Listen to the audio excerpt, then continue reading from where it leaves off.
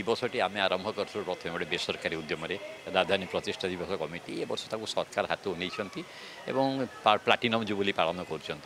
তবে ভুবনেশ্বরে অনেক কাজ করা বাকি অছি পঁচস্তরি বর্ষ ভিত্তি যদিও ভুবনেশ্বর অনেকগুড়ি অভিবৃদ্ধি সাধিত হয়েছি গোটে প্রগতি হয়েছে কিন্তু আহরি অনেক কিছু করা হব যেভাবে ভাবে সহরটি যেমনি